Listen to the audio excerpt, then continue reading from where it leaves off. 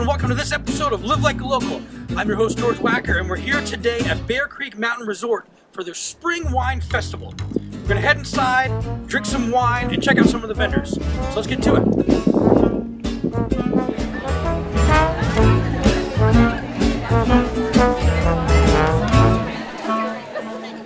Bear Creek Mountain Resort isn't just for wintertime fun. As soon as the slopes are closed following another incredible winter season, Bear Creek Mountain Resort plays host to multiple events, celebrations, weddings, and much more, like the Spring Wine Festival.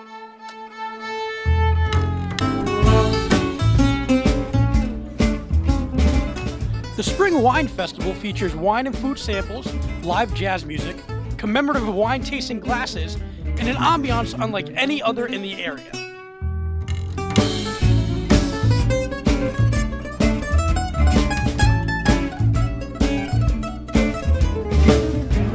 There are more than 15 wineries on hand from Lehigh Valley and beyond, as well as more than 10 vendors featuring jewelry, glassware, handbags, and other fun stuff.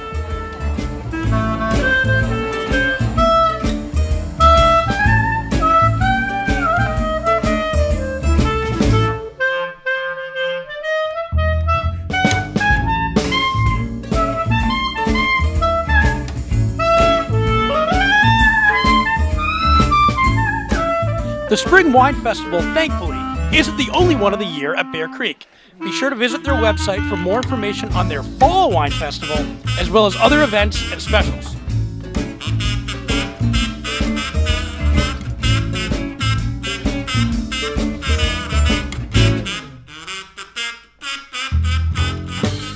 You can also visit Bear Creek's dining areas, the Grill, Trails End Cafe, and the Mountain Eatery year round. And don't forget about their mountain activity pass for summer fun on the mountain biking trails.